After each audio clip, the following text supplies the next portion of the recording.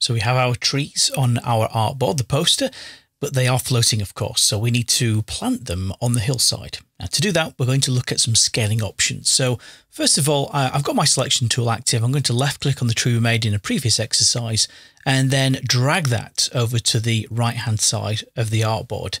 I'll switch to my zoom tool and then just zoom into that region so we can see it a bit clearer. Hold down the space bar to pan.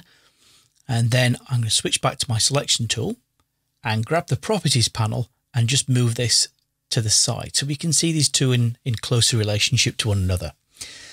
So when we're scaling, uh, as with all Adobe applications, there are good and bad ways to do that, of course. So if I go to the width and the height field shown as W and H, if I swipe over the height of this to change the size and type in, say, something like 50 and hit return, we get that. So it's changed the height, but it hasn't altered the width and we've distorted the artwork.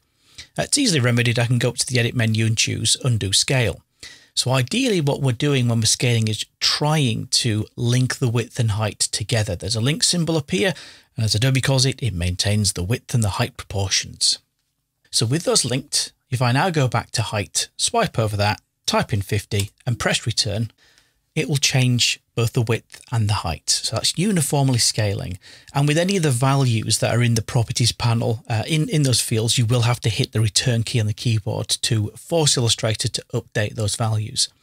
Now from here then, I can just click and drag and I can move this down somewhere around about here, like so. So that is how we can scale uniformly inside of Illustrator.